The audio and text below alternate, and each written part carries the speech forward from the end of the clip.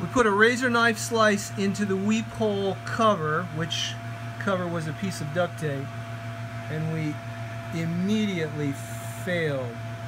Pulled water in through that glazing channel.